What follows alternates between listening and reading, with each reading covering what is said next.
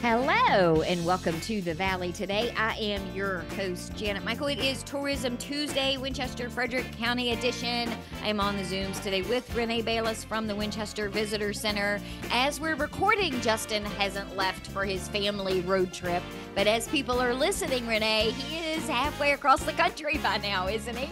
Yes, I think he's going to Canada or Pacific Northwest or something like that this year. So it's like, has it been a year since I was on the radio with you and we were talking about him being on his family road trip? It is crazy. And every time he gets ready to leave, I always go into my Facebook and I turn on notifications for his Facebook posts so I can follow along and see where are they and what are they doing. And I I live vicariously through him. I think those are the best road trips to take, are ones that where you're not actually the one in the car.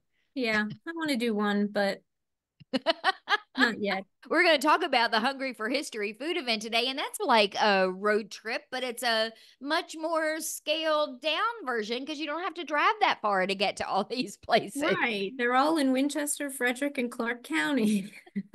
so you can pretend you're going on a little mini vacation. It's very educational, also.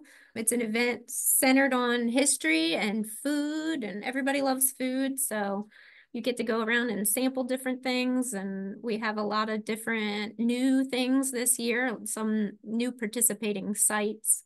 And we also have a kickoff event this year that we didn't have that last year. Last year was the first year that you did this. So I'm guessing it must have been pretty successful for you to decide, hey, we're going to do it again this year. Yeah, it was really successful. We had a really good turnout, especially at the event we had at the Visitor Center that was on Native American history. And then we had some really good reports from the other sites on how many people came to their programs. So we were really pleased with that and hope to have a bigger event this year. It's certainly a testament to whenever you have food at any event, people will come. yes. Yeah. And a lot of them are free tastings too. So little samples of things here and there. And then we also have the options of some of them you can purchase food, like a full meal, and some different tastings of hard apple cider and things like that too, and cheese and even have one that has candy in their program, historic candy.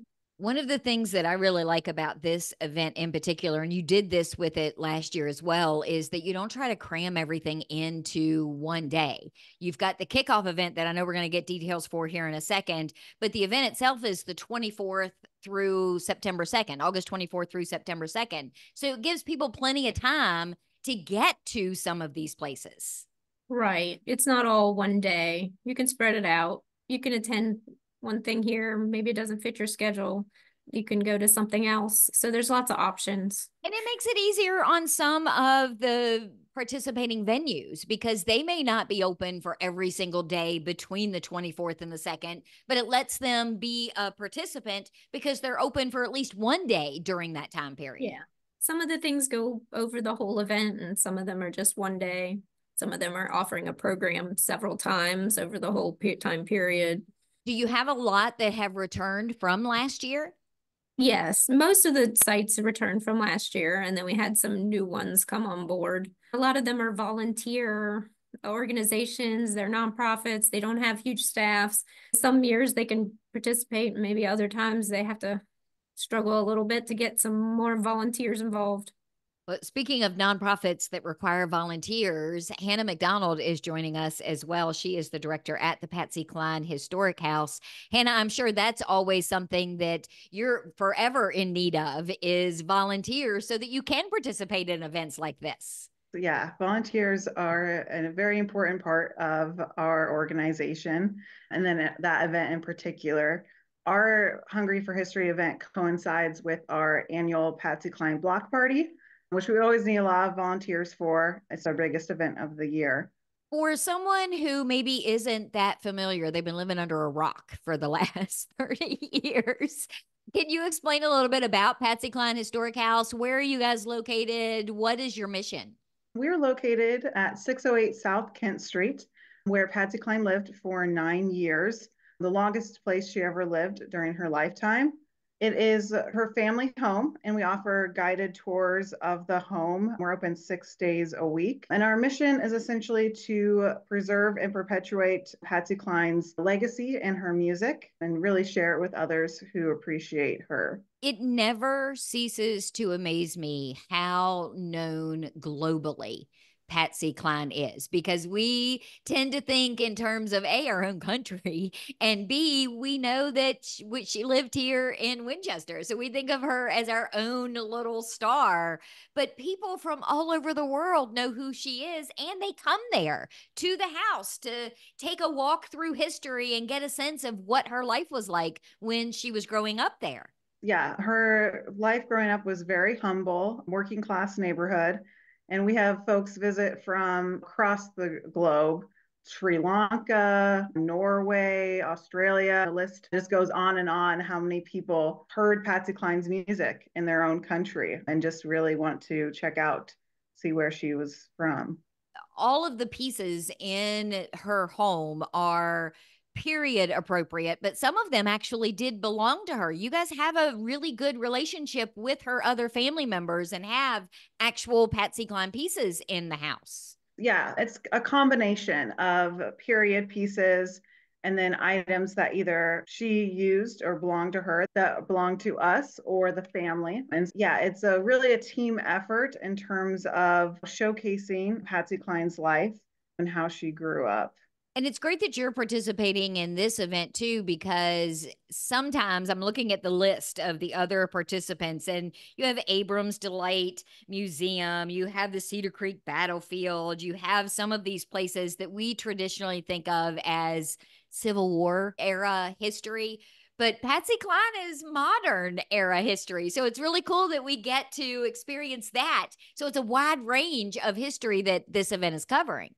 Most definitely. Her time period set in the 50s and 60s. This year's event for us will feature local history as well, focusing a little bit on Gaunt's drugstore, which is where she worked for a few years. We do our best to highlight that local history and that Winchester history of, of hers before her national career took off. I have a friend and a client that owns a local auction house, and Doc Madigan passed away not too terribly long ago. And they were auctioning off items from his estate, and a lot of them included things from Gaunt's drugstore. And I had to buy something just because I felt like I wanted to have a little tiny piece of that history. Yeah, that was a great opportunity just for anybody like yourself to get a little slice of Patsy Cline history from the drugstore years ago, we had Dr. Hunter Gaunt donate several items to us. And then we also got some items from Harold Madigan as well a few years ago. So it's a again a team effort really on preserving her memory and her legacy here in Winchester. You guys are doing your event as part of this Hungry for History event on Saturday, August 31st from 10 to 4. What kinds of things will you have there? We're going to have a specialty exhibit that'll feature some of those items I just mentioned that Patsy Cline once used at the drugstore. She was a soda jerk there. So the program for us is Patsy Cline's specialty soda drinks. And so we'll be featuring that exhibit and also offering these special soda drink concoctions that Patsy Cline once served up at the drugstore. So that includes things like chocolate and uniques and root beer frosties. Everybody can kind of enjoy those drinks as they listen to live country music by regional musicians that'll be there that day. So it'll be a great afternoon on Saturday, August 31st. And people can take a tour of the home for just five bucks that day. Yes, yeah. Special price tours, $5 and you'll get to see those Gaunt's drugstore items as well as her home and hear about her story. She was living at the Patsy Cline Historic House when her national career took off. So it's very significant and m- more recently became a National Historic Landmark because of that. Oh, wow. I didn't realize it was part of the registry now.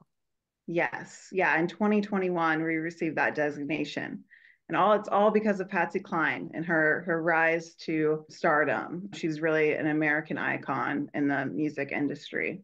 let's take a break. Renee, when we come back, can we talk about some of the other events that are happening between August 24th and September 2nd as part of this Hungry for History event?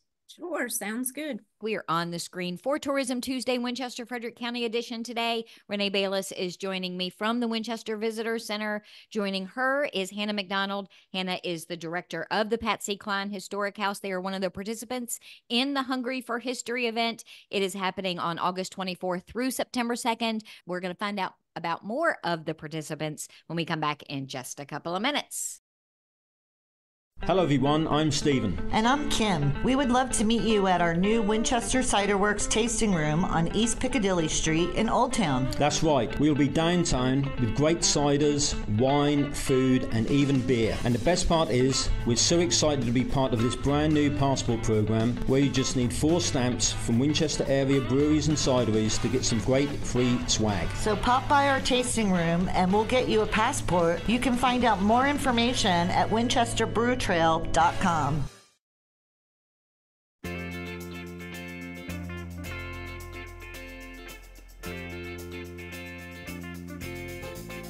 Welcome back to the Valley. Today, I am your host, Janet Michael. It is Tourism Tuesday, Winchester, Frederick County edition. I am on the Zoom today with Renee Bayliss from the Winchester Visitor Center.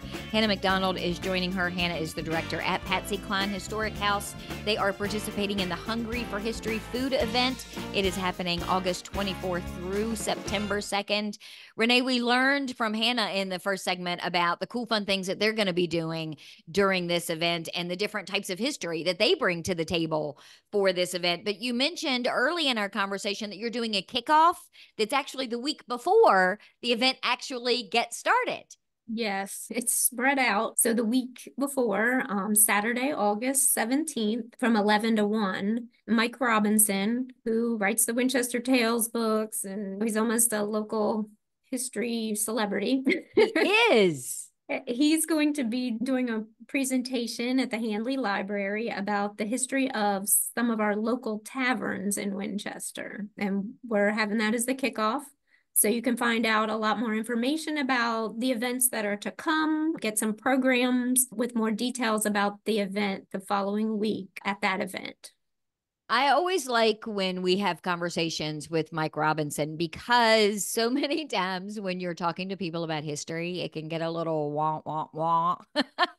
right. But yeah. Mike picks really cool things like the history of the taverns. That's really cool to be able to learn about and understand where they were, how they operated. He does a really good job with that. Yeah, he does. He gets people involved with loving history that maybe wouldn't typically and he uncovers things that we see every day that we don't think about some of the buildings and just stories untold stories he's very good at that I am particularly partial. I follow him on Facebook, the Winchester Tales on Facebook. And I love, as someone who was born and raised here, I love when he does the then and now photos where it shows a corner that I remember mm-hmm. what used to be on that corner. And it's oh, totally something else now. And it's a great way to remind people that history comes in all shapes and forms our town has changed a lot and we shouldn't forget about all these places that used to be. So he's a great presenter for uncovering that.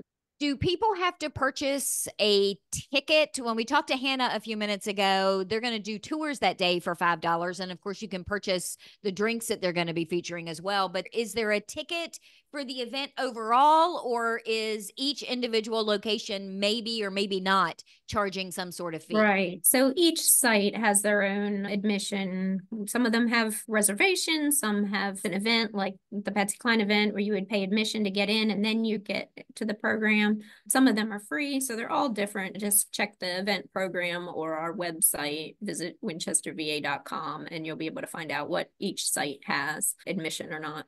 Mike is going to do that talk on August 17th at Handley Library, but then Handley Library is also participating on August 30th, and they're going to be doing some cider tasting.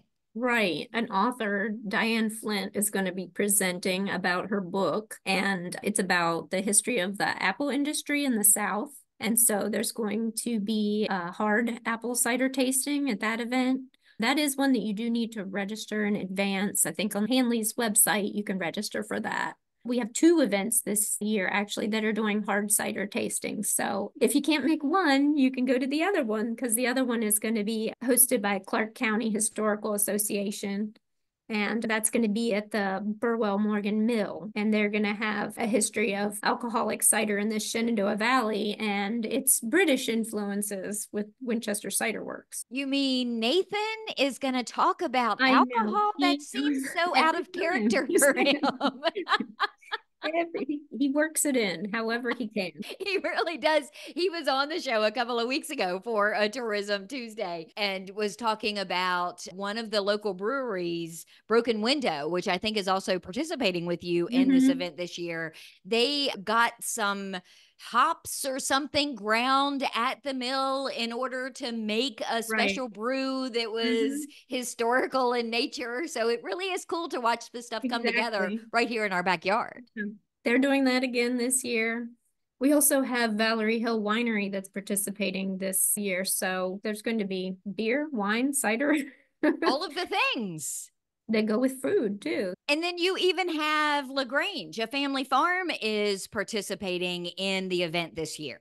LaGrange Family Farm is going to be having house tours and farm tours. They also have a little petting zoo with dwarf goats. They're really cute. That's going to be on a couple different dates. She has August 31st to September 1st. So you have a couple options to do that, and that's free. She also has a cool, really cool farm stand where she sells produce and soaps and baked goods. That's a really neat place to check out too if you'd like to do a farm tour. And then you have some of the traditional places that we would expect to be able to go on an event like this. Belle Grove uh, obviously comes to mind. They've got that really cool Kneading in Silence series that they've been working on. They're participating again this year. Right. They have a couple different programs. And then also their wine festival, they're going to have chef demonstrations. We have the Abrams Delight Museum. They do hearth cooking. And this year we have the Shenandoah Valley Civil War Museum. They didn't participate last year, but they are this year. And they're having a couple interesting programs. One is on historic Civil War candy and the other one is on prisoner food and food that soldiers would eat, hospital patients, and the food that they would eat. So I thought that sounded like, whoa, I've never really thought about what would a prisoner eat during the Civil War. I mean, it can't be good, right? sure, they weren't saving the good stuff for them. That's but, true. Uh, they're having those programs. Their programs do have tickets that you need to purchase. So that's one of the sites that does have admission. I was um, excited when I was looking through the list of all of the people that were participating and what they were going to be offering that day. Stonewall Jackson's headquarters is doing a What's Cooking program, and Need Bakery, one of my absolute favorite places downtown, is actually making hand pies for you to be able to try while you're at Stonewall Jackson's headquarters. Right. So the museum will be open, and then they'll have a special program, and you will be able to try some hand pies from Need Bread. And then you guys are doing a program and an event at the visitor center as well. You're going to have all kinds of cool, fun things going on there. Yes, so I'm excited about this one a lot. It came about because I've been working with the local Black History Task Force to put up some historical markers. And I don't know why it came up, but we started talking about food. And then I said, you should do a program for our Hungry for History event. And it is going to be on the shoebox lunch and the green book so, a shoebox lunch was a lunch that African Americans that were traveling would have packed themselves to take along on a trip, going to visit their family or whatnot. They would pack this shoebox lunch because they might not have a place that they felt comfortable. They'd be able to go in and have a meal at a counter or go into a restaurant. They had to pack their lunches and take them with them. So we're having a program here by Brenda Nelson and Sharon Dixon, and they're going to be giving the history of the shoebox lunch and also the Green Book, which was a book that African Americans could use to find places that were friendly, that they could stop and stay or get something to eat. They're going to have some displays of the Green Book, and we're going to be having those lunches here that you can purchase from T Bones Bar and Grill. They're going to have their food truck here. You do need to call ahead and reserve your lunch. So we know how many you need to have here at the visitor center. You can call 540-542-1326 and just get your name on the list and tell us how many lunches you want. It sounds like a really delicious menu. It's fried chicken, macaroni and cheese, green beans, cornbread, and a slice of pound cake. So that is like a typical meal that they would have packed and sounds delicious. I was saying, but sounds like a meal I'd pack today. Learn about that and then have your lunch and enjoy it here. So that's happening on Saturday, August 24th from 1 to 3. But then you'll also have the programs and a whole lot more information about where they can go over the course of the next couple of days for the other places for this event. Even that same day, if you want to hit two programs at once, Abrams Delight right next to us is going to be having their program around the same time we're having ours. So we'll have programs here with the schedule of events so you can plan out your visit. And then you can go to Vault and Cellar, Bonnie Blue. They're going to have special menu items during this time, which makes it really cool too, because you can take a step back away from the history and go get some good food, but be eating history at the same time. Yeah, there's food at Vault and Cellar. They're having some really interesting dinner specials and also some drink specials. They're having glazed pork belly with pickled watermelon rind and rabbit dumplings. Bonnie Blue's having an, a traditional Southern menu with pulled pork and collard greens and pintos and cornbread, banana pudding. I said I like the banana pudding. Brian is a master at banana pudding. Yes. If you have not had banana pudding from Bonnie Blue, you have got to get over there and get some. He asked me whether he thought it was too much, if he should include that. And I was like, Are you kidding? Why would you leave off the banana pudding? I would take it above everything else. yes. I was like, forget everything else and just have the banana pudding. So, where can people go to find more information, to look at where everything is happening and what's happening where, and map out an itinerary for what order they want to do things? Is all of it on your website? Yes, it's all on our website. When you go to the homepage, visit winchesterva.com, you'll see the image for Hungry for History. And just click on that and it'll take you to the page that has the schedule of events, the program, um, all the meal specials at the different restaurants and the drink specials. That'll be the best way to find that. And if you want to, you can also pick up printed copies of the event program at the places that are hosting, that are participating. We're trying to get those out into the community so people can have a physical program if they want it to decide where they want to go. But we'll have plenty of those at the Visitor Center on Pleasant Valley Road. And Hannah, if somebody wants more information about Patsy Cline Historic House, where is the best first place for them to go? That would be on our website, which the best way to find it is just to Google Patsy Cline Historic House. And then our website will be right there with our business page and information about how to take a tour, information about the Patsy Cline Block Party, which is in conjunction with the Hungry for History event, and anything else Patsy Cline related. So definitely check us out. You can always check out our Facebook or Instagram. We also have a Facebook event for our Hungry for History. Renee, thank you for pulling Hannah in and giving me all the details for this. I appreciate it. Yeah, thank you, Janet. Thanks for having us. And Hannah, thank you. It was good to meet you, and I'm excited to see all of the people that now learn more about Patsy Cline when they come through the event this day. Thank you for having me. I will be back tomorrow with a brand new episode of The Valley Today, a few minutes after noon, so meet me here then.